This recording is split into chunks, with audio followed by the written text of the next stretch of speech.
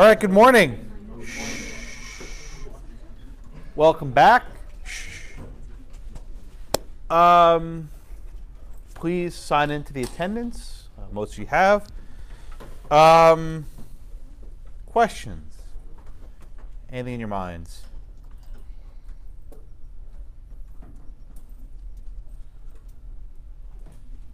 No? Okay. Uh, some good news. The I actually got my copy. Ah, you know, so actually it was on my desk this morning. So I'll pass this around, take a look. Uh, the books should have it shortly, but this is the hot off the press, first copies. Okay. Um, our topic today is a single case, but it's a significant case. Um, it's the Obamacare case, NFIB versus Sebelius.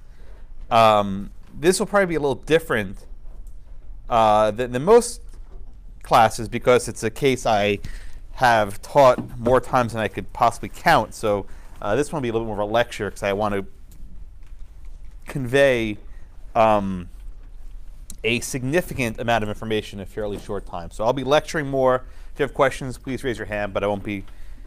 I'll be sparing you the indignity of going up and down the aisles, at least at least for at least for today. Tomorrow we'll be back to normal, or Thursday. Um, I started teaching in August of 2012. It was August 13th. It was my birthday.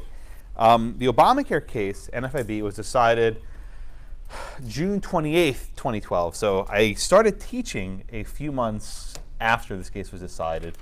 And this was a huge um, deal, a huge decision. Um, it's also an important teaching case in that it brings together um, everything we've studied so far. Uh, Commerce Clause, uh, Necessary and Proper Clause, taxing power, spending power, the role of the courts, politics, the president. It's like everything um, was combined into this perfect storm, hence the stormy skies on the cover, into this perfect storm uh, that gave rise to this case. Uh, this is also the subject of my first book, which I wrote um, in 2012 and 2011 mostly. Um, actually, Professor Barnett wrote the foreword to my book before he was my co-author, so things sort of progress uh, along the way. Now we're equal billing on the, on the cover. Um, but this case was very significant, and I want to try to walk you through this. Um, now, 2012 was now, my goodness, seven years ago. And most of you, I guess, were probably in high school, give or take in 2012. Middle school? Yeah. See, it's, I get older, you say the same age. I was thinking about law school. Professors get older, and all the students keep being, you're the same age. Um, so as time progresses, this has less salience, right? It doesn't have the same weight because you didn't live through it contemporaneously. So my goal here is to try to bring you back to um, this topic. By the way, I, do to know what tomorrow is? Just it's 9/11, right? It's September 11th. Um, you know, it's now, my goodness, what, 18 years since. Now, a lot of you probably don't even remember it or have no recollection of 9/11. Uh, if you do, it's probably very, very faint. I'm actually going to give a lecture tomorrow at a, law school in Tulsa, Oklahoma, and our topic is First Amendment, which is something I lecture on a lot. And uh, the dean, the dean, actually told the students that we could not talk about terrorism, violence, or guns in 9/11 out of sympathy to people. My goodness, that's, that's, that, that's awful. I've never had any dean put a term on my debate. Uh, fortunately, she withdrew her request because I objected. I would have ignored it anyway. Um, I would have. I, would, I wasn't planning on talking about those topics, but I was damn straight not going to be told not to. Uh, you know, the quickest way to make someone do someone, you know, the quickest way to make someone do something is tell them not to do it, right? If you say don't do this, you're going to do it, uh, and and uh, uh, especially if it's election of the First Amendment. But you know, dates like 9/11, the Obamacare case, these are, for me, not historical events. Things I lived through, but I have to remember that students didn't, and they are now history. So I have to teach it as such. Um, the Obamacare story, yeah. Some students through it. Yeah, some, but but the number dwindles. Yeah, the, the, the number will dwindle, and I have to be cognizant of that when I teach it. I can't presume that people know things that happened 18 years ago. It's, it's, it's, it's not a fair assumption for me to make. The same way I don't presume you know what happened during the Civil War or what happened during World War II. I have to start teaching 9 11 the same way that it's a historical event, it happened, and you learn about it in school, not because you live through the day. And I, I think you know, it's uh, it's it's a fact of my job that things get dated, Right. jokes get dated, references, movie references, you know, pop culture. It's got to keep with the times. All right, so the story of the ACA begins uh, uh, with President Obama. And this was a signature law that he backed shortly after winning office in 2008. Uh, but the Obamacare case represented a clash between the presidency, the Congress, as well as the Supreme Court. and they clashed over something that may seem fairly, you know, quaint, but they clashed over the Constitution.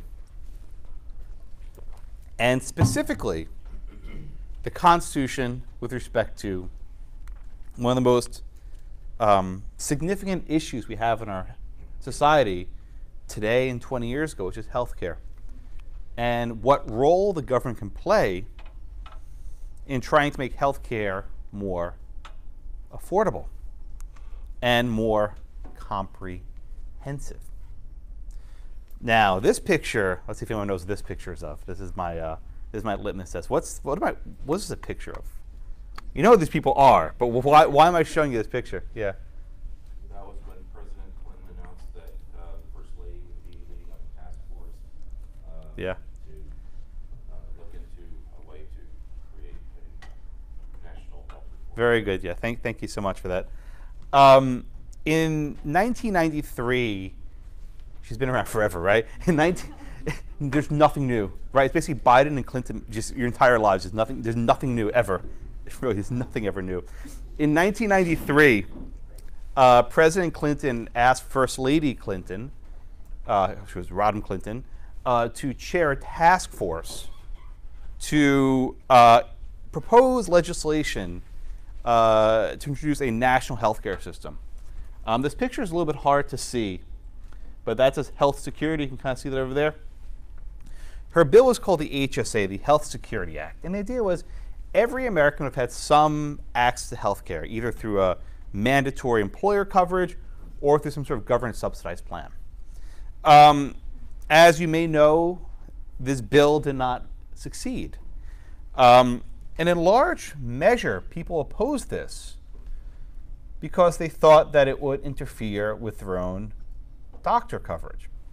There were a series of commercials that ran on TV called Harry and Louise, which maybe you remember. I, I vaguely remember them. Um, and you had this sort of ma and pa sitting at the kitchen table looking over, looking over this thick book. There were no PDFs. These, these thick books describing the, um, uh, the healthcare plan. And you know they're saying, you know, I like my doctor. I want to keep my doctor. And these ads were so successful that they uh, killed the popularity of the Clinton healthcare plan. So in the span of less than a year, the entire thing imploded. Right, the bill uh, uh, uh, never made it through Congress. And after '93, the issue of healthcare uh, was not able to get some sort of national consensus in the federal government. States experimented with different types of plans. Congress sort of nibbled around the edges, but there was no what we call comprehensive health care reform package during this time. Um, that would change following the 2008 election. President Obama made his priority, his first major priority in office, to push forward healthcare reform.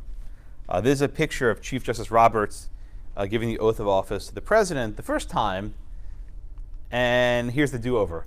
Now you may remember this in 2009, uh, in January, January 20th of 2009, they botched the oath. Uh, the way it works is the Chief Justice says a few words and the President repeats them, and the Chief Justice says a few words and the President repeats them, right? But the problem is they were both really smart. And they both had to commit to memory. But they broke at different points. So Roberts was going to say seven words, but Obama was waiting for five words. And so he started speaking at a different time than Roberts did. So they started speaking over each other. So just with no doubts of whether he was actually president, they did a do-over. They redid the oath at the White House the next day because people could say he's not really the president, and that would go on for a while, right? But this was like one of the first like he's not the president moments. They they redid the oath. Okay. But the the president made one of his first priorities a healthcare reform, and the bill was known as the Patient Protection and Affordable Care Act. Um, today it's just called the Affordable Care Act. No one ever says patient protection. You don't ever hear it. So you hear Affordable Care Act, ACA, or Obamacare. Now, I actually labored of whether to put the word Obamacare on the on the cover. I went back and forth. Um, at various junctures, the president liked the, liked the phrase, and he didn't like the phrase. Right when it was um, popular, he loved Obamacare, and when it was unpopular, it was like we should.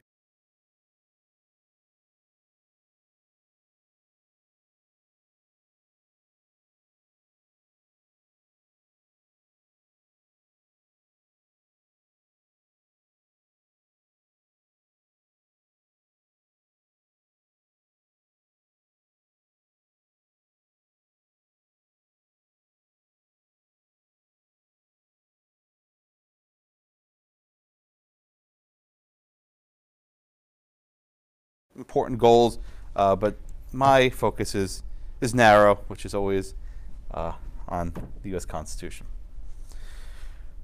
All right. Going back to 2009, when this law was being debated, um, a lot of people didn't like the law.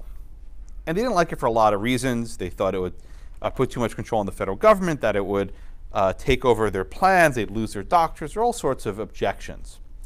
Um, one of the primary groups that was pushing these movements forwards was the Tea Party, which is a group that you don't uh, hear much about anymore. Maybe so we've never even heard of them. Um, this was a how would describe it? Uh, a sort of I'll say grassroots, but with like a little asterisk on that. But it was a it was a grassroots movement that sort of rose up at the end of the Bush administration in opposition to an, ex, an expanding federal government, um, and that's the simple way of explaining it. Uh, had a lot of views. Um, but one of their primary rallying points was the ACA. Um, and for sure, they objected to the ACA on policy grounds. They didn't want the federal government having this much authority over health insurance. Um, but one of the curious aspects of the Tea Party was that they also grounded their objection to the ACA in the Constitution. And this was something that Randy uh, got into fairly deeply at the time. I was still clerking when this was going on. And rather than just saying that Obamacare is bad policy, they said it was unconstitutional. And what's the difference between saying that's a bad policy versus saying it's unconstitutional? Well, for one, it brings the courts to the picture, right? Courts can't stop policies because they're bad. They can only stop them if they're not lawful. Uh, but also, when you argue that something is unconstitutional, it sort of takes on a greater gravity, right? We're not just arguing over petty policy differences, right? There's something greater. Um, and at first, the Tea Party was somewhat small, but it grew and grew and grew uh, until they marched on Washington in the thousands. And they had just a very simple constitutional objection to the ACA. Um, it was one that Randy was very instrumental in helping to spread. And it was a notion that Congress can't make me buy insurance right? Um, most con law arguments are fairly obscure, right? Try explaining the substantial effects test like your neighbor, right? It's not, it's not easy, right? Try explaining, you know, what the, how the taxing power works to, you know, your, your grandfather, right? It's not going to be easy. Uh, but there's a very simple idea under the argument in this case. Government can't make me buy insurance. Well, that's easy, right? I can get that, right? You can't make me buy something. And this movement rallied around that cause uh, very quickly. Um, indeed, on March 23rd, 2010, I might be off on the date by a couple days, I think it was March 23rd, uh, there was a huge Tea Party rally in D.C. Um, I was I wasn't at the rally. Well, I went to the rally, but I wasn't there for that reason. I had a conference in D.C. But I was walking around, and there were thousands of people, and they were objecting to the ACA, which was going through Congress. And I'll never forget, there was actually a guy had a sign. You know, he's a random guy, but his sign said "Overturn Wickard v. Filburn." And I'm like, wow, that's cool, right? Like when I was before law school, I didn't know what Wickard v. Filburn was. I think none of you did either. But like they actually had enough sense. They overturned Wickard. Fair, okay? Um, but the political forces were not enough to stop the ACA. Um, following the 2008 election, uh, Democratic sweep. Democrats had a huge majority in the House of Representatives, and the Democrats also had a 60 vote block in the Senate. Uh, what's the significance of a 60 vote block? They can defeat the filibuster. Um, in other words, Republicans in the minority were not able to stop the ACA. And they soon realized that the Republicans would not back the health care law. So this was uh, Majority Leader Harry Reid said, okay, we can simply pass the ACA on a straight party line vote. That is, all Republicans saying no and all Democrats saying yes, 60 to 40. Um, this is actually what the bill looked like. It was about 3,000 pages. Um, it was developed over the course of 2009 throughout the entire year, and the actual version, uh, the actual version that was voted on, was finally released in December of 2009, so at the end of the year. Um, did anyone actually read it? Of course not, right? Uh, members of Congress don't don't have to actually read bills; they just vote on them. Um, in fact, one of the chairmen of the committee actually said, "I pay people to read bills for me," uh, which is which is candid and accurate. Uh, way too accurate. Uh, on December 30th, I'm sorry, December 24th, Christmas Eve, um, the Senate holds a vote, right? Uh, the version of the bill they were voting on was not the final version. Uh, this was just a version to get things going. The idea was the Senate would pass a basically a draft version of the bill. That bill would be sent to the uh, House, and the House would make modifications, do all the heavy lifting, and send the bill back to the Senate. Right? That's how legislation often works. So on Christmas Eve, December 24th, 2009, the House passes. I'm sorry, the Senate passes a version of the ACA with 60 votes. But then something happened that was unexpected. Um, Senator Ted Kennedy uh, had long time been the senator from Massachusetts. He had died over the previous summer. In January of 2010, a special election was held to fill the Kennedy vacancy. Um, to the shock of everyone, a Republican won that seat. His name was Scott Brown. He's actually now our ambassador to New Zealand. These people just keep, they, they, they never actually leave, they just sort of change offices, right? Scott Brown won the position. And he ran on the promise of being the 50, I'm sorry, the 41st Republican to block Obamacare. That was his campaign promise. And again, a Republican won office in Massachusetts, so it was very surprising that it, that even happened. But after Scott Brown won, the Democrats had a problem. The GOP now had 41 votes, and they could filibuster the ACA. So what would they do? Well, they had that vote from Christmas Eve. And that was going to be the last time the Senate voted in full on the ACA. That draft bill, which was never meant to be final, would become final, right? So the ACA we have now is basically a draft. It was never designed to be the final bill. It's only the law we have now because of Scott Brown's election. And a lot of the stuff we have is pretty glitchy. It doesn't work right because it was meant to be ironed out down the road. But they couldn't afford to make any significant changes because then they'd be filibustered. So the House then was put in a dilemma. Speaker Pelosi recognized that her caucus had to vote on a bill that no one actually wanted, right? For example, under the law now, uh, every state has their own exchange, right? There's a there's a New York exchange and a California exchange, et cetera, right? Some of the exchanges aren't very good under the original plan, you'd have a single federal exchange, eliminate all the problems. But now we're stuck with a 50 state different solution. That's just one example. I can give you dozens. But Pelosi was able to hold her caucus together. And the Republicans, led by John Boehner, uh, did not have the votes to stop them. All he could do was complain.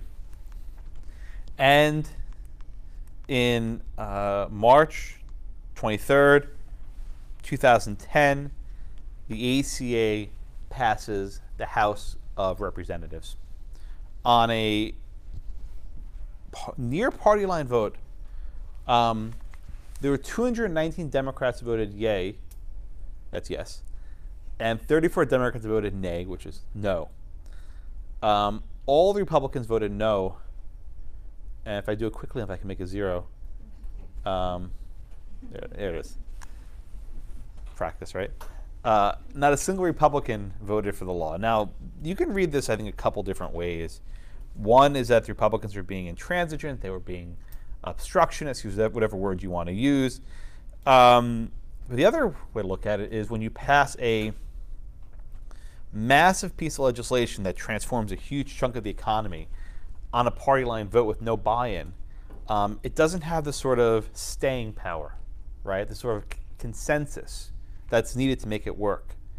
And from the moment this bill was passed, there was opposition to it. And to this day, there's still opposition to it, such that healthcare, which is an important issue, I think all agree, uh, now, now becomes politicized. I think there's, there's a danger. Um, but the bill passed, and it went to the White House, and President Obama signs into law. Uh, fun fact see, he has all these pens over here. Uh, why does he have all these pens? This is like an old Washington thing. When the president signs a bill, he uses different pens to sign it. So pen number one, one stroke. Pen number two, two strokes, right? And they handle the pens out souvenirs. So I have the pen that signed Obamacare. Well, you have like one of 40 pens. I, th- I think if I remember correctly, like there are 20 something pens uh, down there. You can see them all there. And I'll show you the signature in a minute. It's very jagged. Like the O is like dot dot dot dot. You know, it's not it's not a straight O because uh, he uses so many different pens. Okay. So he signs the bill into law. Yay, right? That, that mean it's over, it's done? No, of course. This is America. Everything goes to the courts, right? Tocqueville told us that 200 years ago. Uh, everything goes to the courts. Within 20 minutes of the president signing the damn bill, lawsuits were filed across the country. I mean, like minutes later. Um, you know, you'll learn about electronic filing soon. You can prepare the stuff in advance and just hit submit when you're ready. So they knew it was coming and had all the papers ready, and they hit just bing, submit, and lawsuits began. Okay. Um, one lawsuit was filed in Florida, another was filed in Virginia, uh, and a couple other filed in D.C., Ohio, I mean across the country, right? Uh, this was before the era of nationwide injunctions, so you actually have to sue in different places to get different remedies. Now we just, you know, you pick one court in San Francisco and you're done with it. Um, the argument was that Obamacare was unconstitutional. And let me walk you through the argument with a little bit of, of depth, if I can. Um, the ACA had a couple key components, right? Um, perhaps the most popular aspect of the law is what's called guaranteed issue and community rating guaranteed issue and community rating. What is guaranteed issue and community rating? The first part says everyone has to be issued a policy, right? If you apply for insurance, you're guaranteed to be issued a policy, guaranteed. What does that mean? They can't deny you coverage, right? The insurance company has to write you a policy. They can't say, oh, you're too sick, I don't want to insure you. Everyone gets a policy. But the second component is the actual important one. It's called community rating. What does that mean? Your insurance policy is priced based on who you are and where you live. So if I'm a 35 year old male living in Houston, all 35 males in Houston will have the same rate, right? Whether you're sick or healthy, right? If you're a 24 year old female living in Houston, all of you have the same insurance rate. You'll be rated based on your community, right? So the effect of these two policies is that sick people will be guaranteed access to insurance, and they'll be charged the same as their next door neighbor would if they're the same age. Okay. Now these are without question popular policy. People, oh my God, how could you deny coverage to sick people? Um, it's also very expensive, right? If you're a young, healthy 35 year old, you might not use any insurance at all, right? You may be, I mean, I, you know, a lot of you probably, God willing, don't use doctors very often, right? You're healthy. Um, so the insurance companies make a fortune off you. And then there's some people who need it. And they have expensive medicine, expensive surgeries, expensive treatments, expensive specialists. You can go through the list. Um, so there's a, there's a cost shifting problem, right? Um, some people account for a huge share of healthcare costs, and that's just basic economics. Some states tried to experiment with this approach before, New Jersey and others, and they said, well, um, we're going to make sure that everyone gets a policy and it's priced well. All right, so what did some people start doing? They said, okay, well, I'm healthy now. I don't really need insurance, so I'm going to just wait. And if I become sick, um, I'll buy it later. And that way they can't turn me away. Um, in those states where they experimented with this guaranteed issuing community rating, prices went through the roof, right? Because the insurance companies couldn't afford it, right? The insurance companies could not afford only covering sick people and not having healthy people to spread the cost, right? When you're a healthy person, you buy insurance, you're basically spreading the cost out. Um, so at least one state, Massachusetts, with Governor Mitt Romney, yes, no one ever changed, which is the same cast of characters keep recycling. This is our world, right? Um, uh, add another element called the individual mandate. And the mandate says, with certain exceptions, you have to maintain insurance. There are exceptions for income, whatever, but for most people, you have to maintain insurance, right? And if you fail to maintain insurance, you pay a penalty. And the idea was, let's, uh, how shall I say, nudge people, right? Let's shove them into the marketplace, make them buy insurance um, such that uh, there are more healthy people in the system, and that spreads the cost. Right. Now that was a state. Um, does a state have the power to implement a mandate to purchase insurance? Um, that's a different question from whether Congress does, right? The states have the general police power, and Congress does not. Um, I don't think there were any, I should say any, I don't think there were any successful challenges anywhere to state level purchase mandates. I don't, I don't, can't recall. I think there were not. Okay, so the first question is, does Congress then have the power to impose a mandate. And I'll go into more detail later, but that's the general gist. Um, the second element of the ACA was what's called the Medicaid expansion. Okay, what's Medicaid? Um, there are two federal health care programs. People confuse them. I do sometimes myself. There's Medicare and Medicaid. Medicare and Medicaid.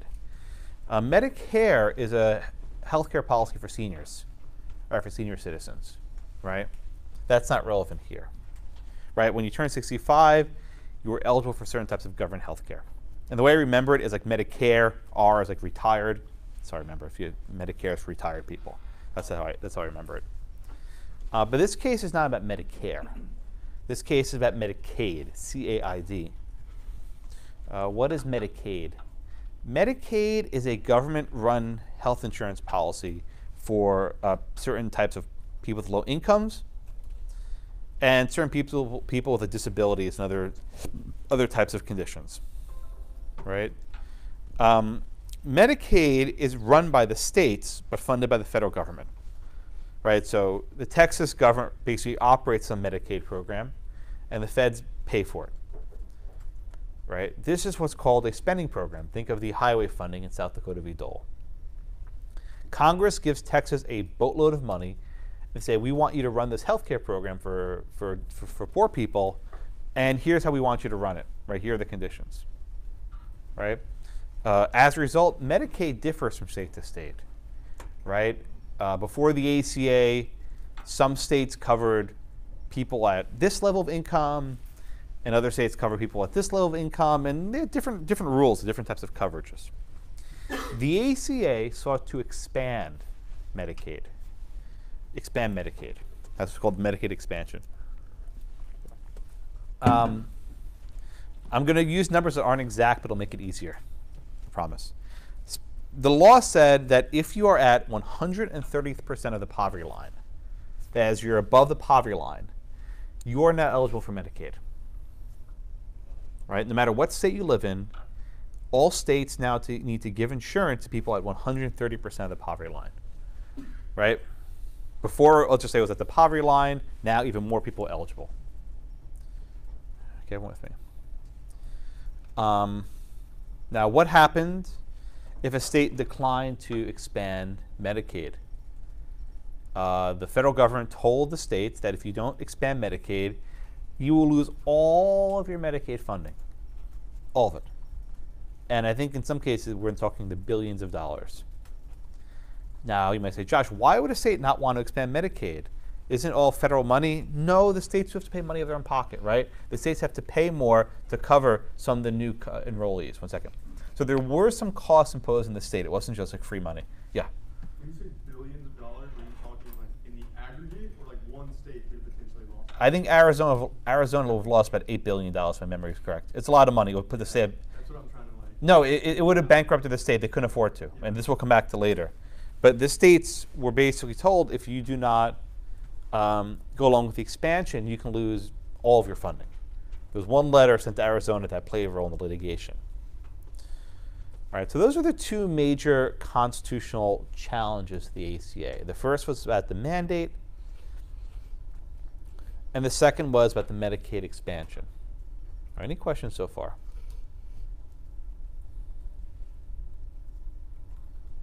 No? All right. Um, now, if you were a law student um, during this time, right? And I gave you an exam question, and I said, could Congress make you buy health insurance? I can say with a high degree of certainty that every law professor in the country, except for maybe one or two, maybe three, would have said, of course Congress can make you buy health insurance. Now, why am I so certain about this? Because I don't think I actually understood this case until fairly late on. This is why Randy had a significant role. He had argued Raich, and he understood this case better than anyone else. But let's just walk through the cases that we have, right? Um, we have Wickard. Wickard was from, I think, 42. And Wickard held that Congress can regulate um, local activity if that local activity had a substantial effect on economic activity. Right? That was a holding in Wickard, right? Which broadened the scope of Congress's Commerce Clause. See, Commerce Clause, right? Commerce Clause, there it is. Commerce Clause authority. Uh, but then we have Raich a couple years later in 2005. Oh, not a couple, a couple decades later in 2005. Um, and Raich considered whether Congress could regulate um, the local cultivation of marijuana. Of course, this was Randy's case. Um, and the court held in Raich that Congress could regulate this local activity because the word economic, economic activity includes cultivation of commodities. Uh, we also had Justice Scalia's opinion, on the necessary and proper clause. Right? Justice Scalia said when you have this sort of national scheme, which is about prohibiting drugs in the black market, Congress can regulate local activity to ensure this national scheme is effective. So, where does that leave us for the ACA? Congress can regulate local activity that's necessary to ensure the operation of a federal scheme. Okay, let's talk about Obamacare. We have this guaranteed issue in community rating policy, right? We have these policies that require insurance companies to issue policies to anyone. But in order to make that system work, we need the mandate. We need people to buy into the insurance marketplace so that we have a healthy insurance risk pool, right?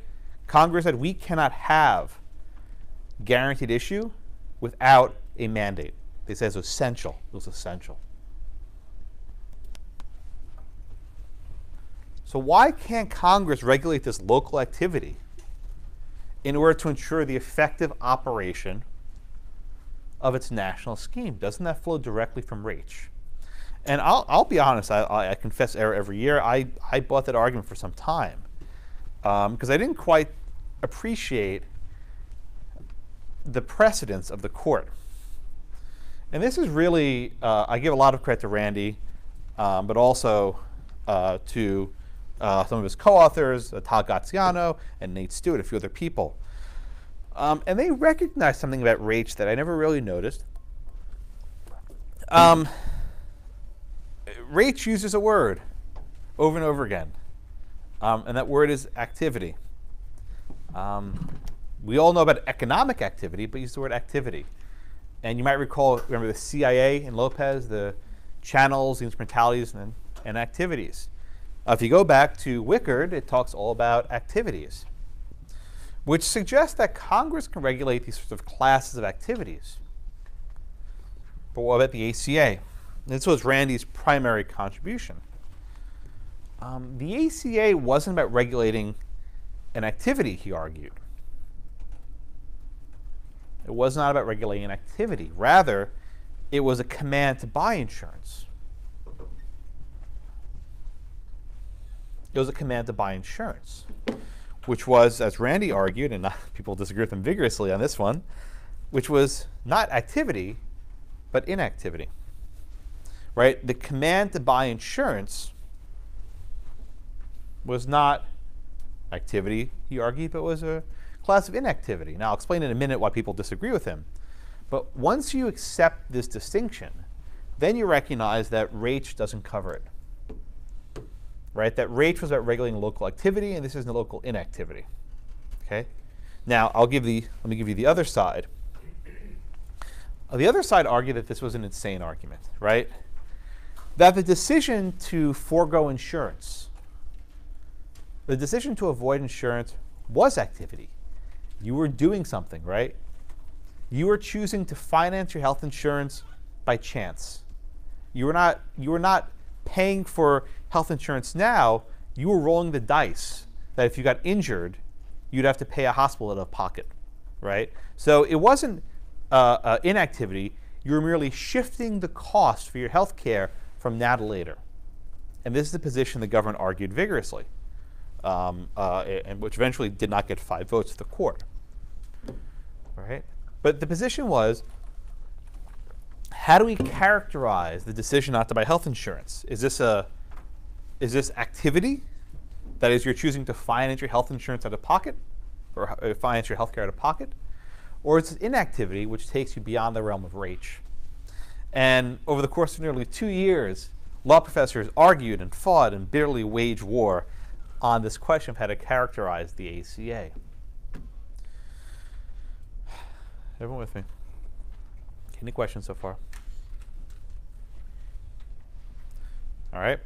And the case ultimately boiled down to a vegetable, if you will. And to this day, my friends, I cannot eat broccoli. It makes me think of John Roberts, and I just I, I can't do it. Uh, mostly joking. Uh, I never like broccoli when I have an excuse. Uh, you know, George H.W. Bush never ate broccoli either. Uh, but this was in the cover of Reason magazine. Reason's a, a libertarian magazine. By the way, I, I briefly considered putting broccoli in the front cover of my book. I'm grateful I didn't. That would have been a bad idea. Uh, but the argument was, can government make you buy broccoli? Now, what the hell does that mean, Josh? Now, it's not going to make you eat broccoli. That's people say, oh, can they make you eat broccoli? No, no, it's not about eating broccoli. Like, there might be some due process issues there, right? Uh, shoving stuff down your mouth. It's going to make you buy it. And what's the argument? Well, if people buy broccoli, they might eat it. And if they eat broccoli, they'll be healthier. And if they're healthier, their health care will be less expensive. Simple, right?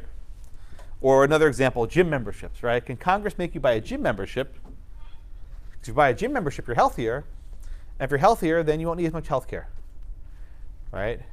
What can Congress make you buy in order to make their healthcare system work greater? Can they make you buy anything? Right? Had there been a history, right? Had there been a history of mandates to purchase commercial products? Else made The Simpsons, right? Can Congress make you buy a Chevrolet at the time General Motors was in possession of the US government, right?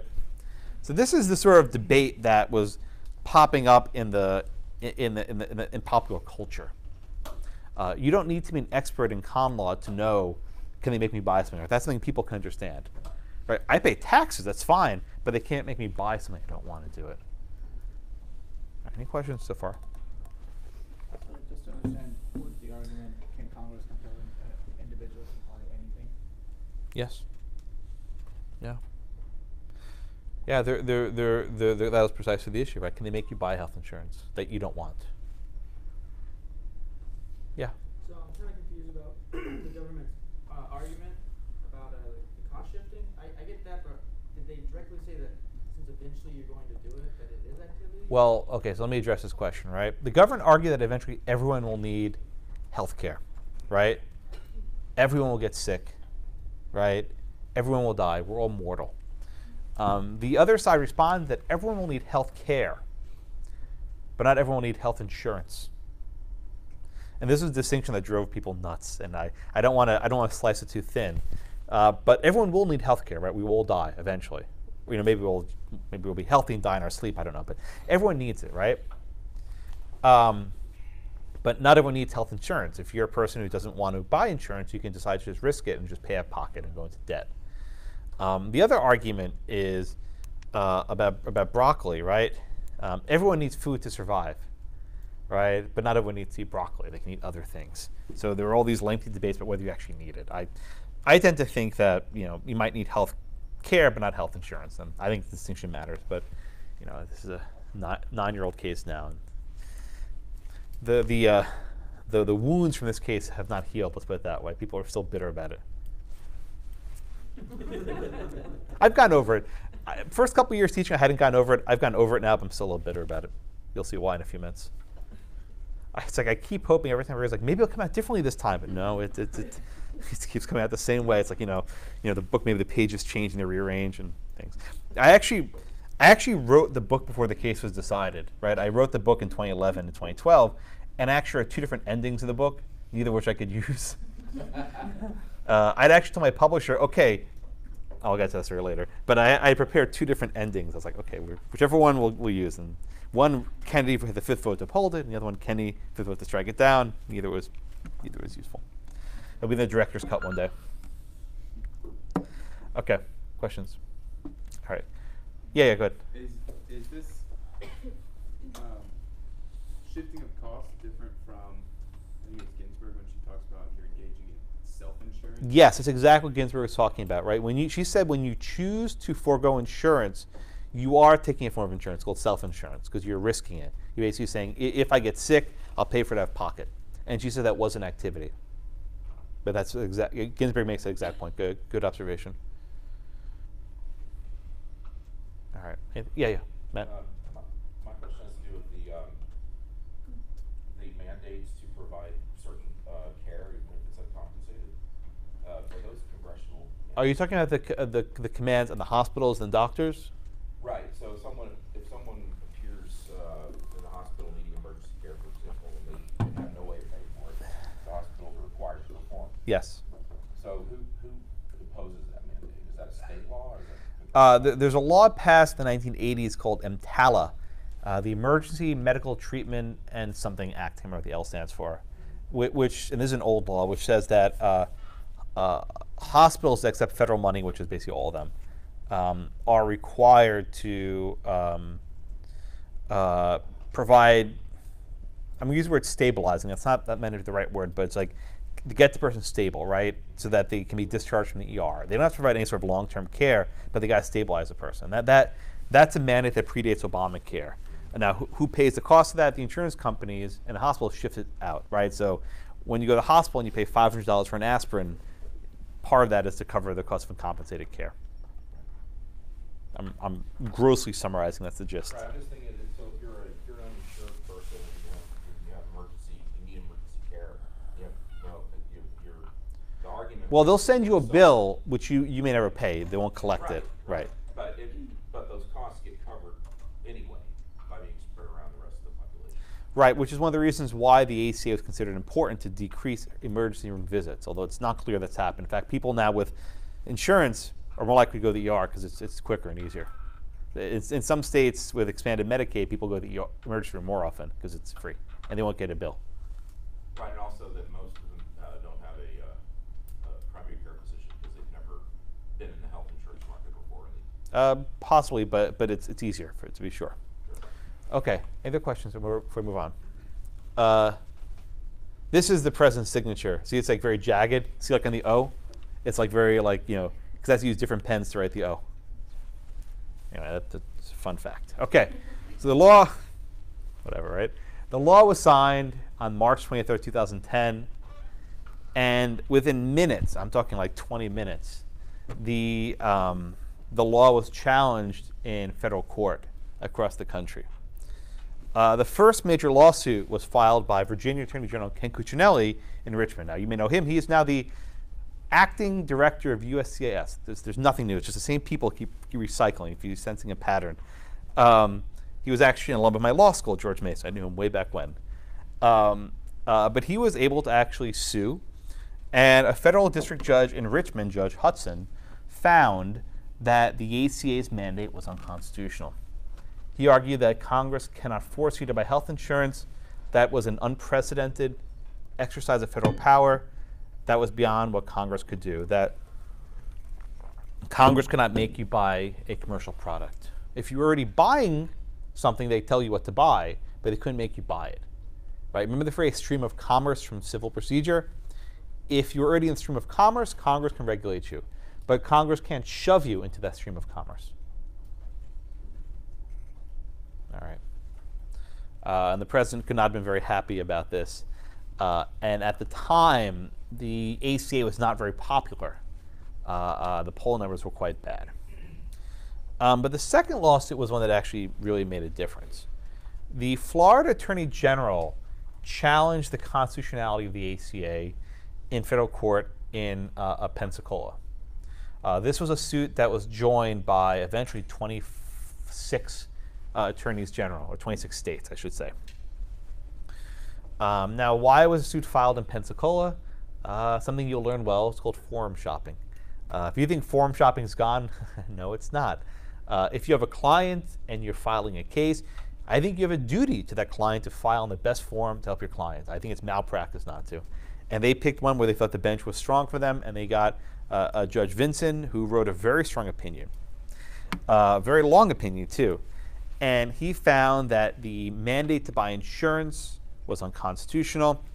He also held that if you strike down the mandate, that if the mandate's unconstitutional, the rest of the law has to fall apart.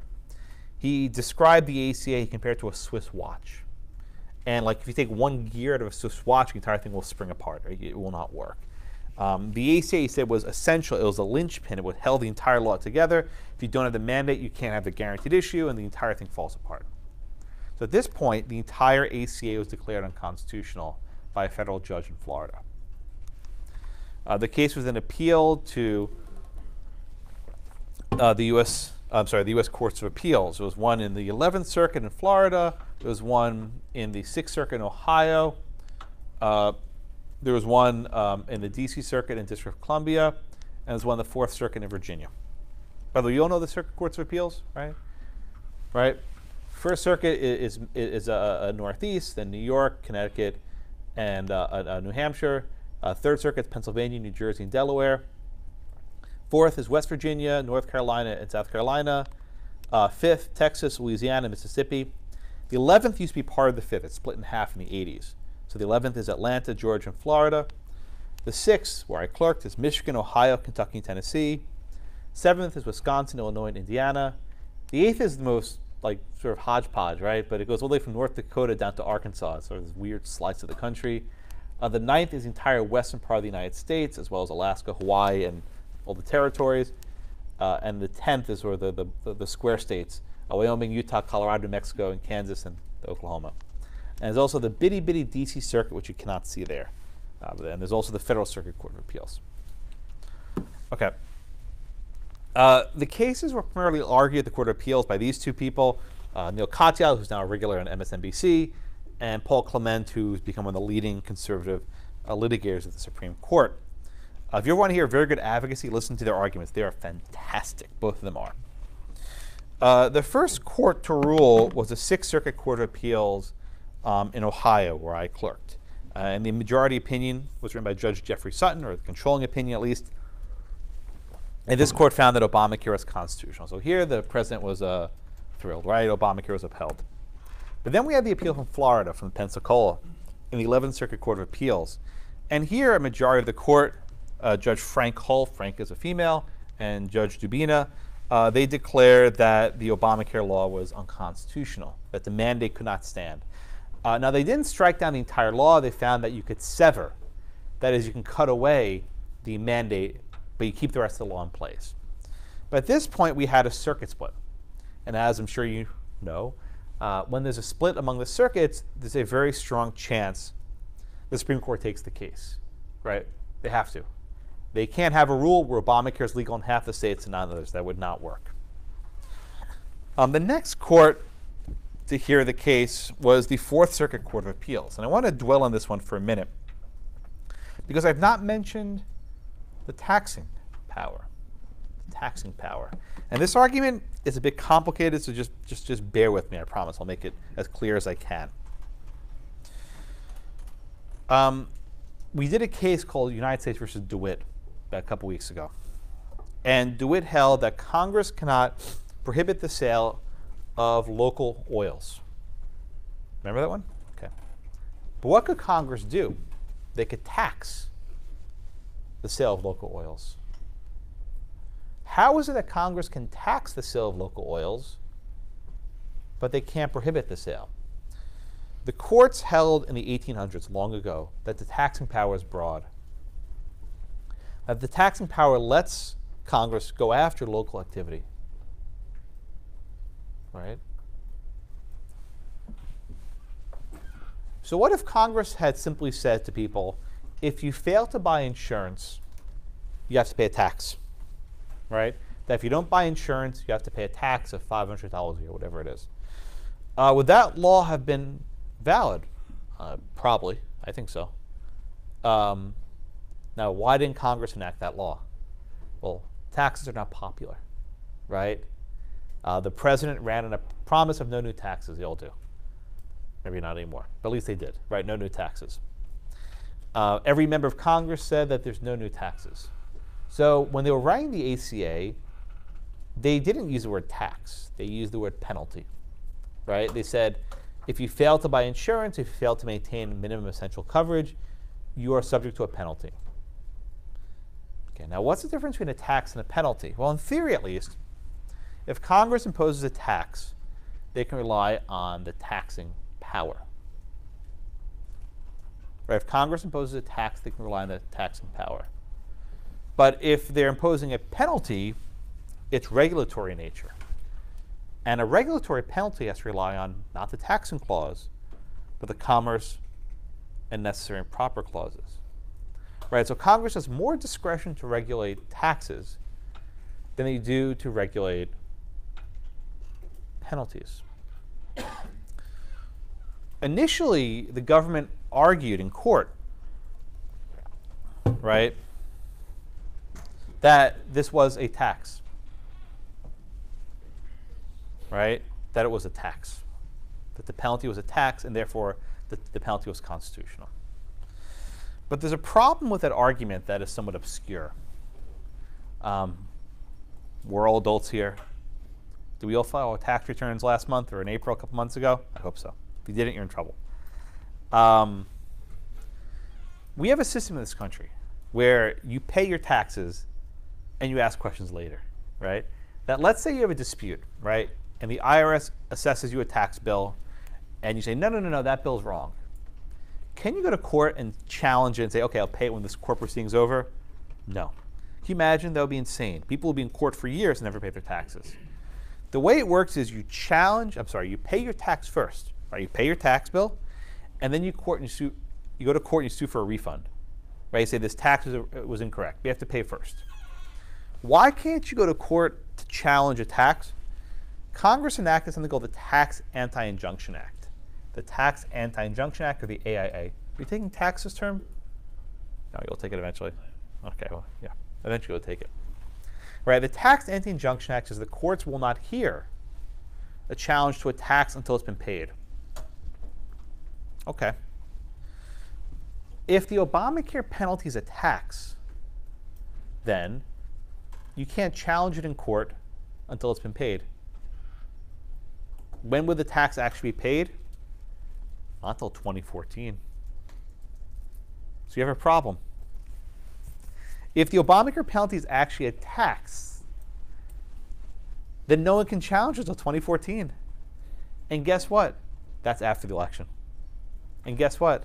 President Obama would not be in office anymore after 2014. So there was a fear, right, that if we delay this litigation until after 2012, that the entire law will be killed in the middle of the next presidency. And the Obama administration decided they needed a more prompt resolution. That creates a problem. If they argue that it's not a tax, then they take a constitutional clause off the table. Then they have to rely entirely on the commerce necessary and proper clauses. You see the riddle, right? If they rely on the taxing power, then they have the Anti Injunction Act to worry about. But they take out the taxing power, let's resolve this now, they're stuck with commerce necessary and proper clause. And they have the broccoli argument. So there was a lot of difficulty in this case that most people never quite appreciated. Uh, but at least one judge in the Fourth Circuit found that the ACA was in fact a tax. And he found that we could resolve it now, and that judge is not very important. I'm not going to talk about it much more. I will talk about the next judge, right? He was a judge in the DC Circuit.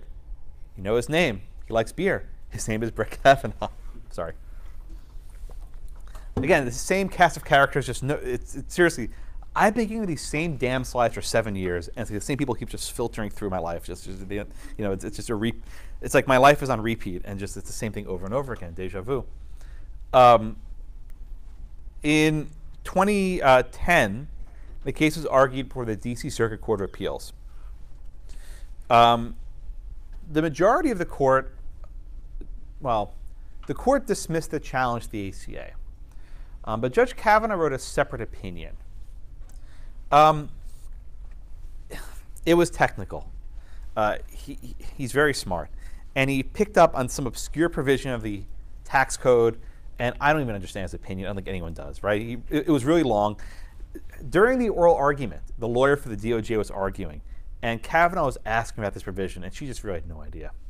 And the other judge goes, Mrs. Whatever, whatever her name was, do you know this provision? He's like, no, Your Honor, I have no idea. So he just he was picking on this obscure tax argument, which I, I I'll have to go reread it one day. I just I I, I don't know what, what he was talking about. But at the end of his opinion, he had a couple sentences that were very useful for the government. He said, well, everyone agrees that if Congress enacted a tax on going uninsured, it'll be fine. Congress didn't enact that law. But the law they enacted is very similar, right? What they did was very similar to the hypothetical statute he made up. And he suggests that maybe the courts, to save the law, could read it as a tax. Um, Brett Kavanaugh planted the seeds for the John Roberts Saving Construction. And the government, this is uh, Solicitor General Don Verrilli, the top lawyer for the government, he recognized that Kavanaugh planted the seeds of how to save Obamacare. That even if it wasn't a tax, it's really similar to a tax. And it can be read as a tax. And that's the argument that was presented to the Supreme Court. Questions? Yeah. Aren't the judges supposed to be unbiased? Why are they trying to save this? I don't think that's an act of bias at all. I disagree with the premise.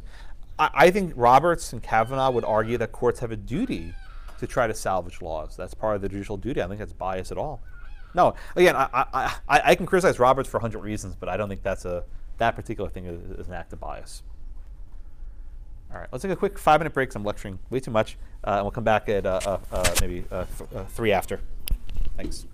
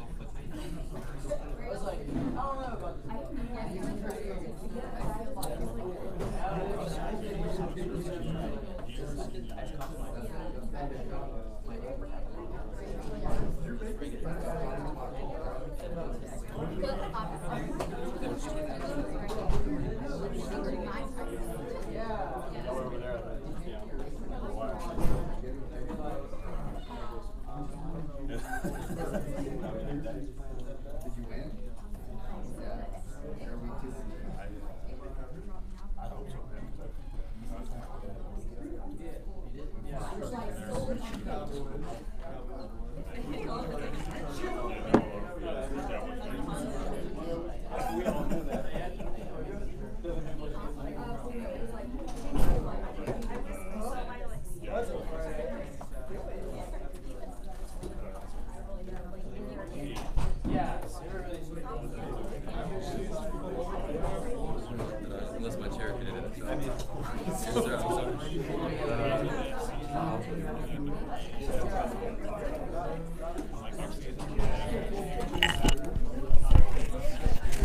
one more minute. We'll start in a minute.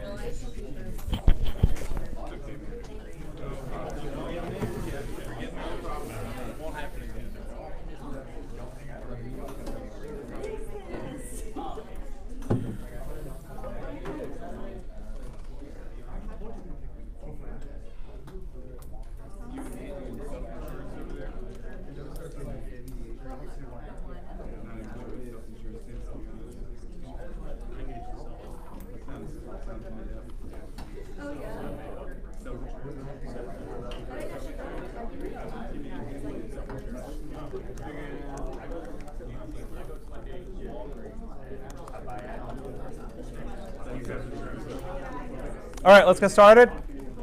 Back in your seats, please. All right. Um, all right. Where are we? Uh, we now have a circuit split.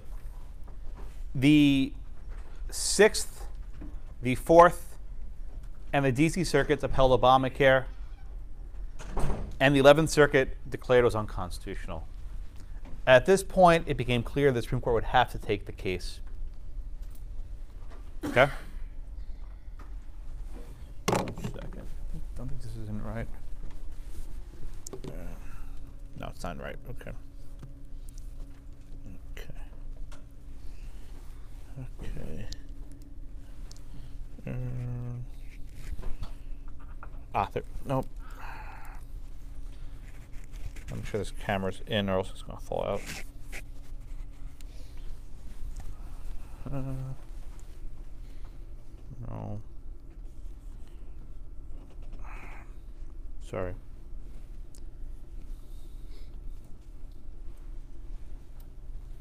Okay, I think I'm good. All right, uh, if it turns off, we'll know what happened. All right, at this point, the Supreme Court has to take the case.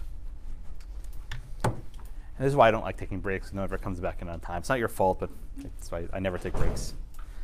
Um, at this time, at this point, the court has to take the case. Um, at the time, we had the Roberts Court, which was a couple years old. We had the new Obama justices, Sotomayor and Kagan. And the court was sort of at a turning point, right?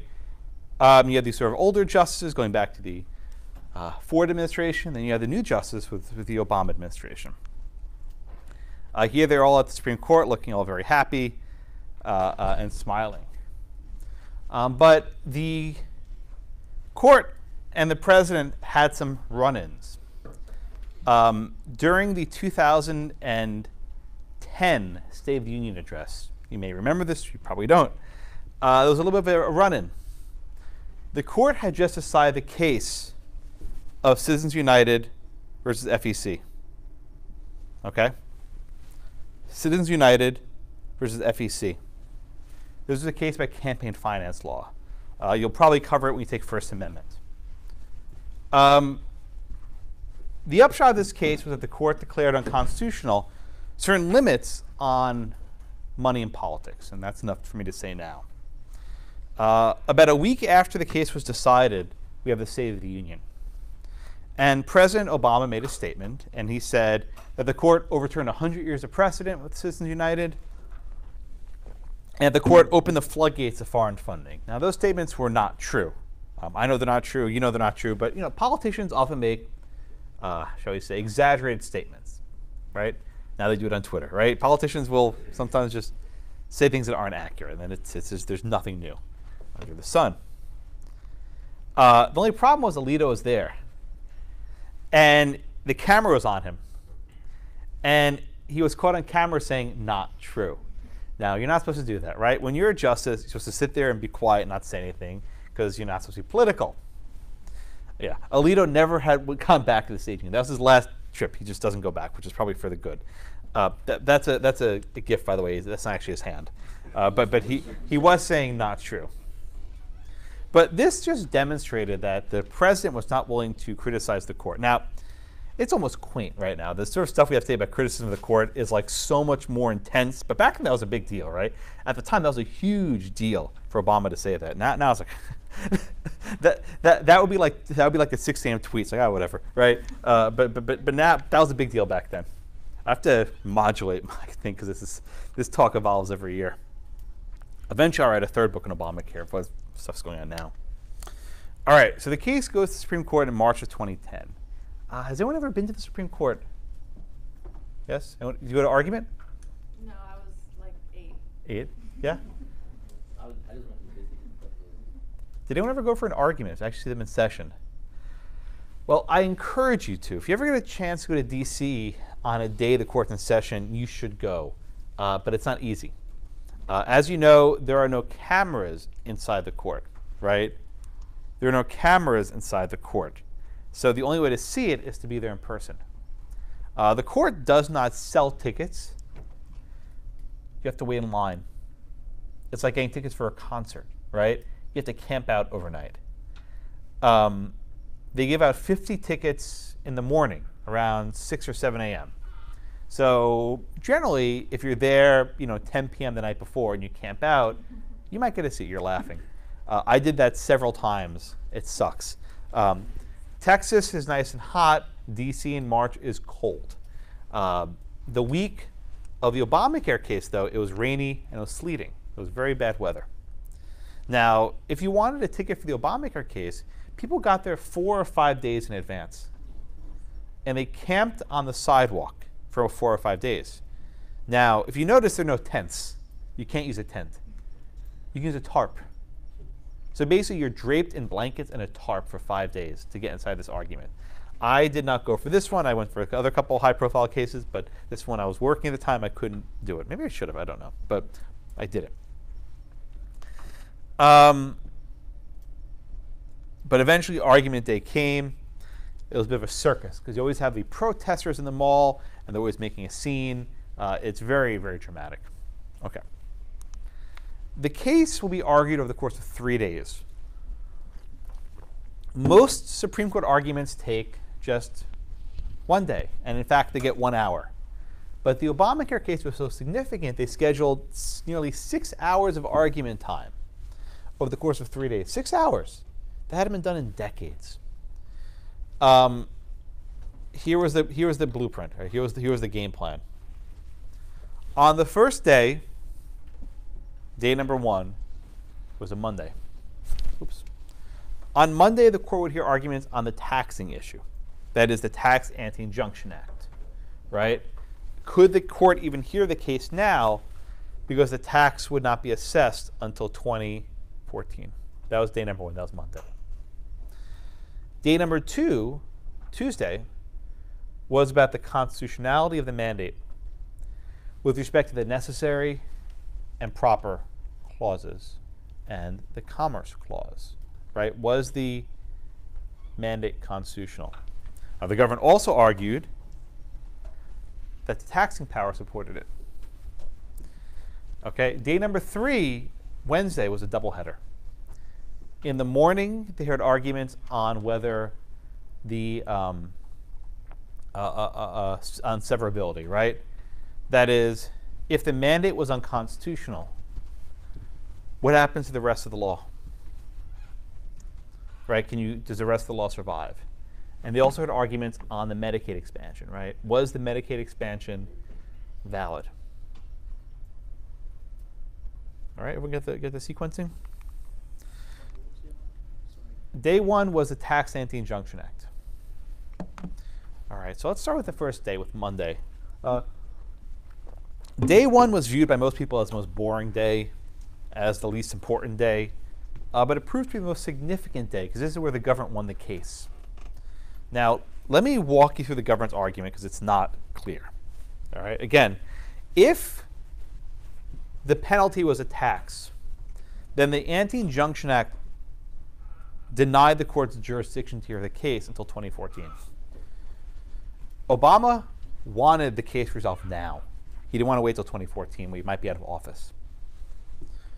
So, what did the government argue on day number one? On day number one, the government argued that the ACA was not a tax, that the penalty was not a tax. Wait, what? On day number one, the government argued that the penalty was not a tax. Therefore, the court could hear the case now. But on day number two, the government argued that the penalty was a tax. Huh? One more time. I know this. I, I see the, the eyes rolling around in their, in their sockets, right? On day number one, the government argued that the penalty was not a tax. Therefore, the court had jurisdiction to hear the case now. But on day number two, the government argued that the taxing power could be used to support the constitutionality of the mandate. Wait a minute, Josh. How is this? How, how, how can you go to court on, on Monday and say it's not a tax, and then go to court on Tuesday and say it is a tax, right? I mean, estoppel, right? I mean, I don't know what word you want to use. Like, how, how can you make an entirely inconsistent argument back to back days? How can you do that via the government? They were creative. They argue that when you're interpreting a statute, like the, the Injunction Act, Congress, right? Congress might be stuck, right? When, the, when, when Congress is interpreting a statute, they have more flexibility.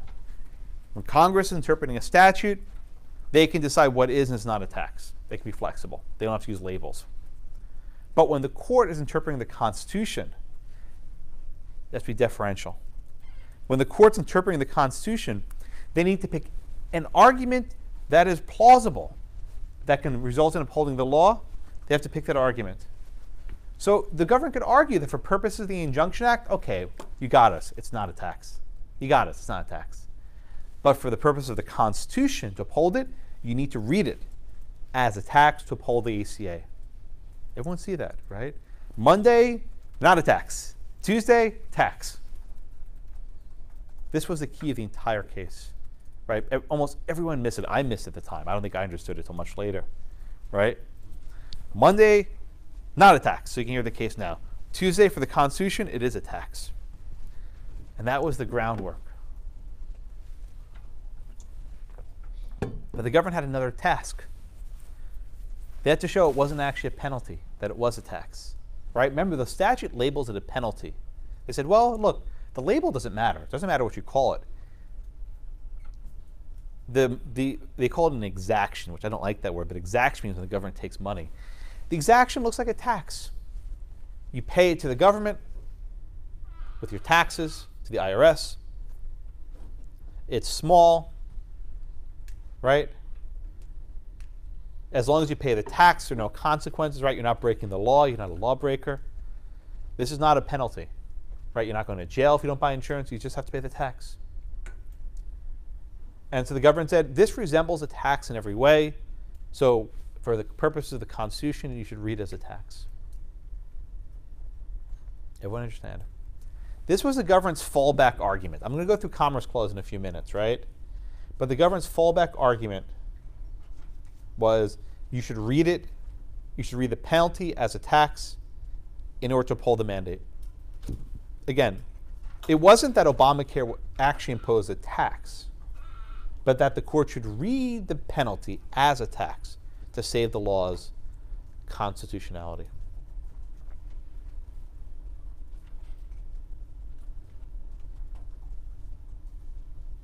Any questions so far? All right, so that was day one, right? That was day one. Day two would be between uh, Solicitor General Don Verrilli and Paul Clement. Um, now, this was the big day. This was like, is the mandate constitutional? Um, and the Solicitor General had a very rough start. Um, he did something you should never do. A few moments before his oral argument, he took a sip of water. He began his remarks and then he went silent. The water went down the wrong pipe. He was up there before the US Supreme Court choking. He could not breathe. So, the biggest case of his life, he was gagging in front of the Supreme Court. Um, the, the Republican National Committee actually made a commercial about it. They actually doctored it. They, they, they, they, they basically made the, the silence sound twice as long as it did. But it was at eight seconds of silence. They said even the Obama lawyers can't defend Obamacare. You know, they, this is, it, was, it was a bad, bad commercial. I'm mm-hmm. not a fan of it because they, they doctored the order and made it sound worse. But let me tell you something, right? You want to hear professional. He got up there, he said a few words, he started choking. He regained his composure. He began his argument again from the beginning, verbatim. He has he has opening committed to memory, perfect, word for word. Think you can do that? You go to the Supreme Court, start choking, then you repeat your exact opening line verbatim. This is this is why they're they're where they are. Uh, so I, I respect Don Verrilli. He he he pulled it back, but it went downhill from there. Uh, that you know I can tell him a good story, but he had a hard time. And why did he have a hard time? Um, it was the inability to articulate a limiting principle, which is the, the issue that keeps popping up in all of our cases, right? Uh, I think I showed you in Lopez the argument with Justice Ginsburg. And Justice Ginsburg was asking the Solicitor General, what are the limits, right? What are the limits? And he wouldn't identify one. Um, in other words, if Congress can make you buy a commercial product and then regulate what product you buy, what can't Congress make you do? Right? That the entire range of human activity can now come within the scope of the federal government. And these were questions that the justices asked, right? What's your limit? And Verrilli said, well, maybe healthcare special, right? Only everyone needs healthcare. The response, well, everyone needs food, right? Can they make you buy broccoli? Justice Scalia asked about that. Um, uh, you know, they said, well, you, this is a, this is not actually a form of um, regulating inactivity. This is a form of cost shifting uh, that Justice Ginsburg wrote about. We're simply shifting when you pay for it. Uh, but if that's the case, anything you buy can be by cost shifting. The government had trouble articulating a limiting principle um, because there really isn't one, right? Beginning with the New Deal, the courts basically said the entire range of human conduct can be within the scope of the federal power. And what the Rehnquist and the Roberts Court did was said, okay, we're not going to reverse the New Deal cases. We're simply not going beyond them, right? We're going to leave those decisions in place, but we're going to create these sort of artificial barriers to, like, you know, contain them.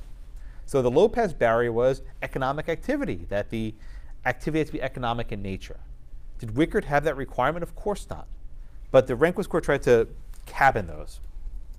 And what was the, the limit from NFIB? The limit from NFIB was about activity versus inactivity, that Congress can impose a purchase mandate. Now, the exact mechanics of this were actually a little bit uncertain until the end. Why could Congress not impose a purchase mandate?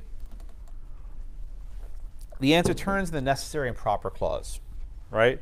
The court held, right? The court held, and this is by saying court, I'm talking about Chief Justice Roberts here. Chief Justice Roberts held that the mandate might be necessary, right? In order to have guaranteed issue, it's absolutely necessary to have this mandate, right? You want people to be in the system, right? It's convenient to use Chief Justice Marshall's word. Even though it was necessary, however, the mandate was not proper, right? Why was it not proper? The court doesn't give a terribly good explanation, uh, but they suggest that this was a great independent power that was too big to fit within necessary and proper, right? That this was such a great power to make people buy insurance, you can't squeeze it into the necessary and proper clause. That's have a standalone authority, right? You can't intrude. You can't force people to buy insurance product. This has never been done before. And, and NFIB makes clear what was implicit in some of their cases we studied that necessary and proper are separate analyses. And here the court found that it was not proper. Okay. So the court found that first, the Commerce Clause by itself can't cover this because it's not commerce among the states. Second, this might be a necessary aspect of federal power, but it's not a proper aspect of federal power. And third, let's talk about the taxing power. Okay? What does John Roberts actually hold?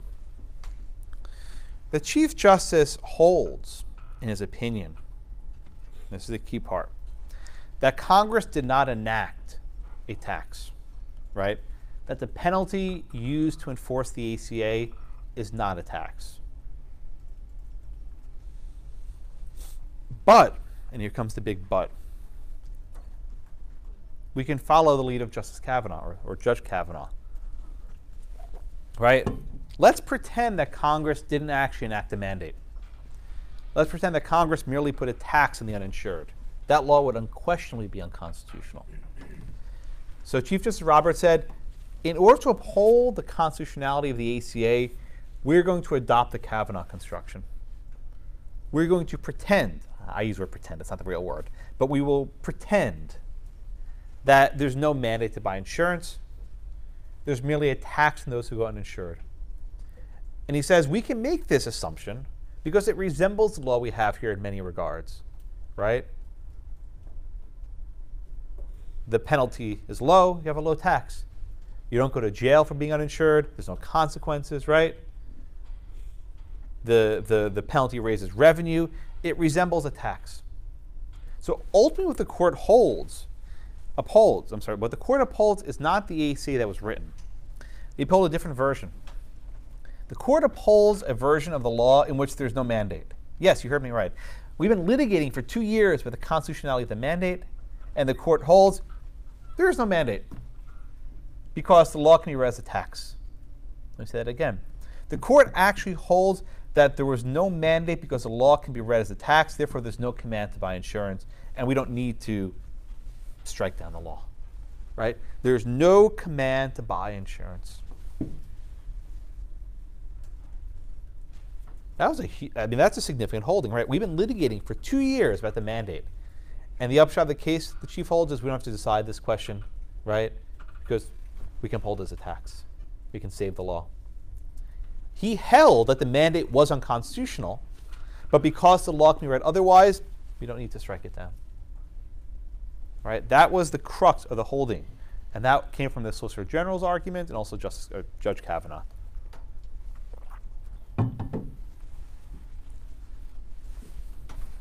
Everyone with me, right? Most people do not understand this, right? I, and I, I, don't mean this in a mean sense. Most people just don't get this. They, they'll simply say that Chief Justice Roberts upheld the ACA as a tax. That is not right. That's not right. It's not right. And it matters for stuff that's going on now. What the court held is that there was a mandate to buy insurance and it was unconstitutional. But because the ACA as a whole could be understood to impose a modest tax, then the law can be upheld. What happens, my friends, if the ACA cannot be understood to impose a tax?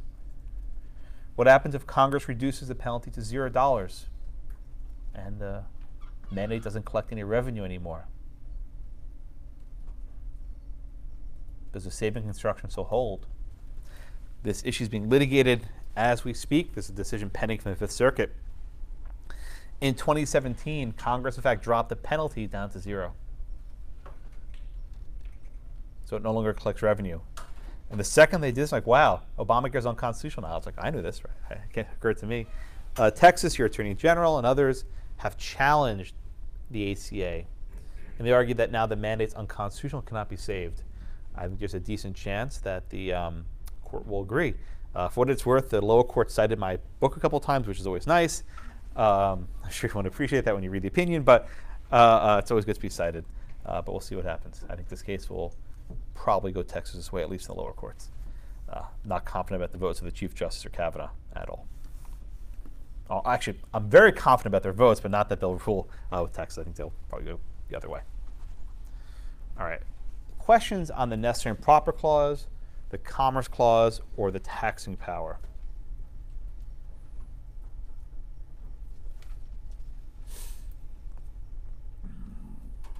Okay. Uh, let's move on to the Medicaid expansion because I haven't really talked about this uh, much. Um, we discussed last class, I think it was last class, South Dakota v. Dole. Okay. Um, in South Dakota v. Dole, uh, consider the spending power. And the court basically says that um, Congress can give money to the states um, with strings attached. And then if a state doesn't want to comply with the string, they can just lose the money. Um, and you recall that Chief Justice Rehnquist identified four factors, then there was a fifth factor.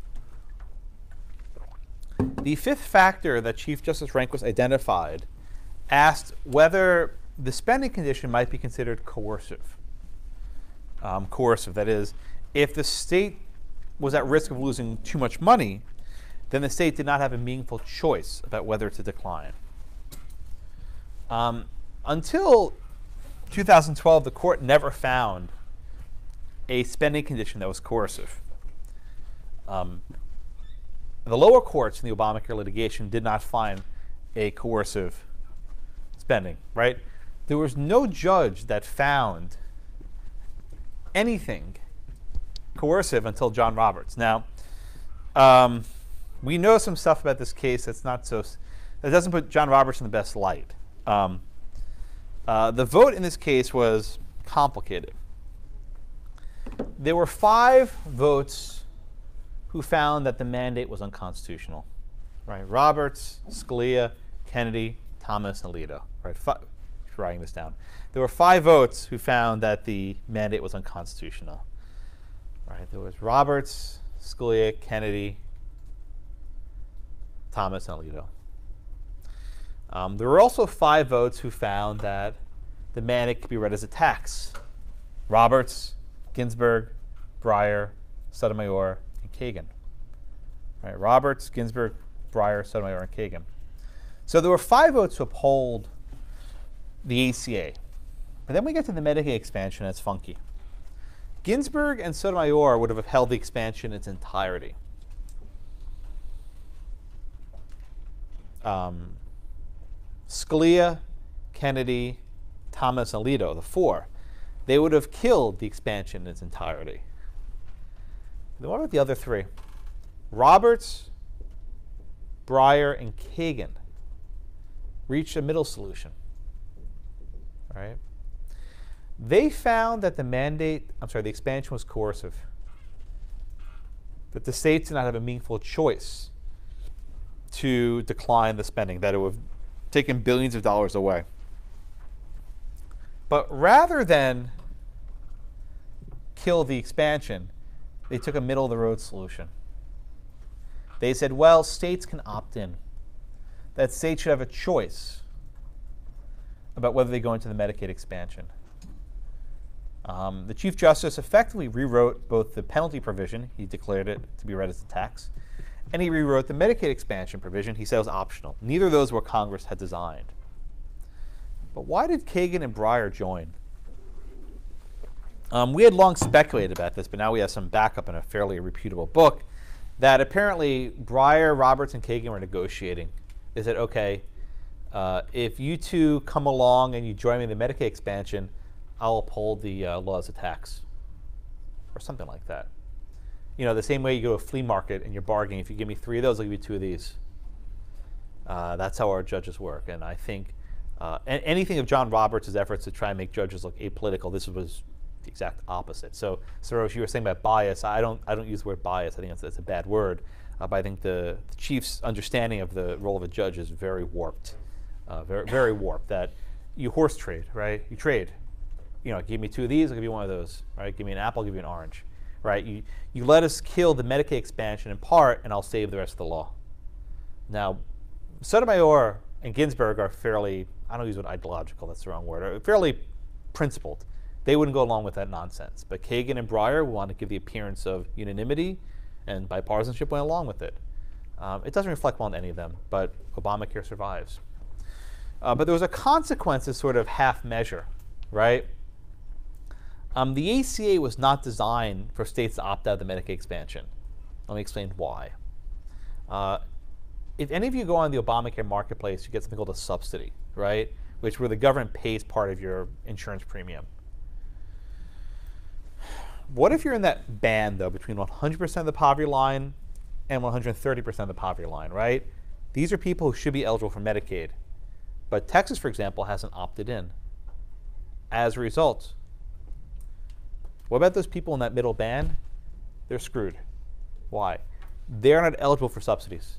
The law didn't consider them to even get subsidies because they've been on Medicaid. Why would they need health insurance from the, the marketplace? So there's an entire band of people in the United States who cannot get any health care. That this rewriting of the law screwed a lot of people over very badly. This was John Roberts' rewrite. So uh, there was a story years ago about Texarkana, which is a city, you know, it's around the Texas-Arkansas border. If you're on the Arkansas side, you're fine. If you cross the street in Texas side, you, you lose your insurance and you can't afford it.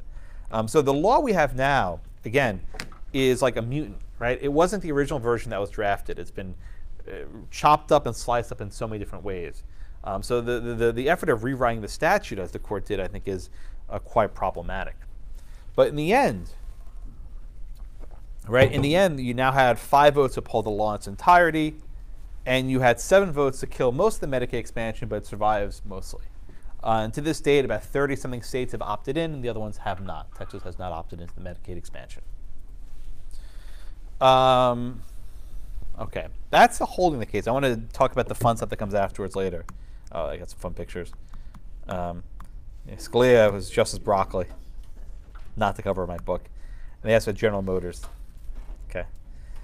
Uh, okay. All right. So, any other questions on the actual holding of the case? Now, at the time, right, uh, when, when the case was decided, uh, most people, me, assumed that Justice Kennedy would be the tie-breaking vote. Uh, in fact, I, I, told you I wrote two different versions of my book for the ending. One in which Roberts, I'm sorry, uh, Kennedy upholds the law, and the other one where Kennedy votes to strike it down. And I told my agent, I'm like, look, hey, here are just two different proposals. Uh, you send out whichever one you think is going to happen. You know, whichever one happens, just send it out. Okay, why was I doing that? Um, I had scheduled a conference in London uh, for the day after the Supreme Court's term concluded. Right? I knew roughly when it would happen. I wasn't sure, but I said, okay, I'll fly to London the day the term finishes. I'll read the opinion on the plane. It'll be great, right? Um, was not going to happen that way uh, because the Chief Justice uh, decided to change his mind. And there are lots of reports about exactly what happened. Uh, but the upshot is, at some point, Chief Justice Roberts was on the fence. He said, Well, I think the mandate can't be supported by the commerce and necessary and proper clauses, but maybe we can do something with the taxing power. And he sort of struck this, this bargain with Kagan and Breyer, where they kill part of the expansion, but they leave the Medicaid, I'm sorry, they leave the mandate in place as a tax. And that's the law was saved. Um, you know, I'm not, not a fan of this mode of judicial decision making, but that's what we're stuck with for the next 30 years. Lord help us, right? Um, so in other words, I like to know this is not a tax, this is not a penalty, this only protects the government intrusion. Okay. But uh, this one I like to, uh, I murdered 12 people, I didn't buy health insurance. Uh, but it's actually not true because it was not a crime. Robert said, there's no crime if you go uninsured. Okay, and this is my favorite Thomas picture. This is dissent where just everything's unconstitutional, just the entire thing. And then uh, and Kagan did their sort of compromise, and Ginsburg and Sotomayor were down for the count. They were not going to go along with the nonsense of, of this middle of the road approach. Now, here comes the fun part, right? So I said, okay, I think my flight was scheduled to take off around 10:30 a.m. Uh, Eastern time. The Supreme Court starts its session at 10 a.m. and they announce their opinions. And as the opinions are announced, they are put. Uh, a link to the PDF is put online, right? That's usually how it works. Uh, this was in 2012. Now, every year when the Supreme Court's finishing its term, there's a tradition. It's called the running of the interns. Know about this? Where every single news station, NBC, ABC, CBS, they put an intern at the Supreme Court with sneakers. and they wait for him to hand these, you know, these thick opinions. And the second they get the opinion, they run all the way out down the front steps to the cameras which are waiting on the streets. And this is how it works. They shove in the reporter's face this 150 page opinion. And the reporter is expected to go on air immediately to say what just happened. Now, did they actually read the opinion? No. On the first page of any Supreme Court decision is something called a syllabus, right? A syllabus is like a summary. So what happens if you know you're a June 2012 intern running as fast as she can, hands the opinion to the CNN lead, report, lead reporter on the street, and he reads the first page of the syllabus. And he gets to the bottom where it says, the Chief Justice found that the mandate cannot be supported by the Commerce Necessary and Proper Clause. What do you think happened? This was fake news before fake news was a thing, right? It wasn't just CNN, by the way. The reporter, a nice guy named Bill Mears, I know, I know him very well, he reads the first page where it says Roberts found the mandate unconstitutional. And then he reports that live on CNN. And it goes global. For about 15 minutes, the entire world thought that the mandate was struck down.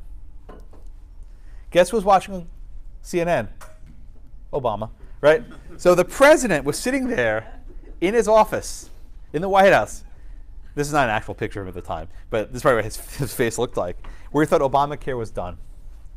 Now, why couldn't anyone get the opinion? The website was down. So many people are trying to flood the website that no one can get to the PDF. Now, Fox the same. Megyn Kelly, a long time ago, uh, Megyn Kelly was the same. Obamacare is unconstitutional. Now, what about poor Josh, right? Well, I was sitting on the tarmac at O'Hare Airport in Chicago, about to take off for London. Um, and you know, uh, you know, my girlfriend was supposed to send me the opinion. I'm waiting, I'm waiting, and she sends me a message like, "I can't get to the website. It, it's it's done." Right? I'm like, "Oh, come on, keep loading." I'm on my phone, right? And she says, "Send me a message like the court struck down Obamacare." I'm like, "Oh my god!" Like I'm like, that, that, "That's amazing, right?" And then I'm like, "Send me the opinion." She's like, "I can't get." As we're about to take off, I get my last message before the sky hits, and the message says, "I still have it's my G chat." Roberts voted to save the mandate as a tax. Then had eight hours of silence. there was no Wi-Fi back then. There was no power on the planes. My laptop died in a couple hours, right? I was in utter silence for eight or nine hours crossing the Atlantic. No Wi-Fi, nothing. So this entire like storm was brewing beneath me, and I just had no idea what was going on. Um, and in hindsight, it's actually probably for the best that I wasn't like involved with that insanity. I, I took a nap, you know, I sort of relaxed a bit, and, and I was trying to figure out what the hell happened. How did Roberts uphold that? And the second I landed in London, I landed around midnight local time. It was a you know a daytime flight. I cleared customs. I got to a computer. I stayed up all night, read the entire opinion, and I'm like, what, what on earth just happened? And it didn't, it didn't hit me for some time until later. And I to go to a presentation in London. But this was a dramatic moment. And eventually, someone walked into Obama's office and said, No, no, you won. He's like, Wait a minute, I thought I lost. No, no, you won the case. So we have, you know, a, a Dewey defeats Truman moment for the iPad era. um, but in the end, he prevailed, right? The Medicaid expansion was killed in part. Chief Justice Roberts did a little bit of surgery. Uh, and this was one of the first moments that people started having doubts about the Chief Justice. Uh, Glenn Beck and others attacked him. But don't forget, we had an election coming up. Mitt Romney, yes, the same Mitt Romney who invented Romney Care in Massachusetts was running for president. Uh, he was possibly the worst candidate on the most significant issue of the year. Uh, during one of the debates, Obama called Romney the godfather of Obamacare. Uh, and I think it was, I think it was an accurate description. Okay. Fast forward till 2012, President Obama wins his reelection. And I thought, what do I know, right? I thought that would be the end of the fight over Obamacare. I was like, okay, I guess everything's over now. Things are going to go back to normal. Not even close. Um, the next four years would be nonstop litigation over Obamacare. And now here we are, almost what, seven years later, almost a decade after the law was enacted. We're still in court fighting over Obamacare. Um, these issues are not going away anytime soon. Uh, every year I teach this case, there are more wrinkles. Uh, uh, you know, it's funny. He's gone. He's not. Uh, that's the thing about justices. They, they stick around forever. Presidents come and go, but the justices stay the same. And Anthony Kennedy is not the most important American. It's, it's that person um, until we get the next nominee. And the case will be less important. All right. I'm going to stop there and let's ask some questions. I cover a lot of material.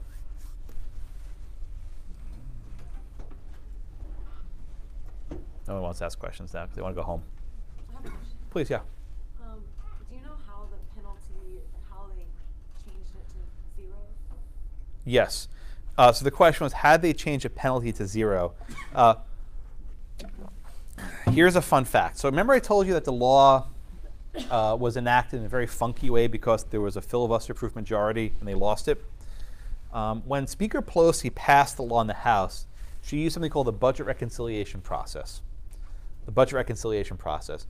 That process allows you to make certain changes to financial aspects of a law with less than 60 votes. So the actual penalty, the dollar amount, was set not by the 60 vote majority, but by the less than filibuster proof majority. So in 2017, the Tax Cut and Jobs Act was enacted through the tax reconciliation process, the budget reconciliation process. And this allowed Congress to drop the penalty from about $600 to $0. So the penalty wasn't actually repealed, to be precise. It was reduced to $0. And everyone can pay a $0 penalty because there's $0 collected. So that's where the law is today. Answer your question?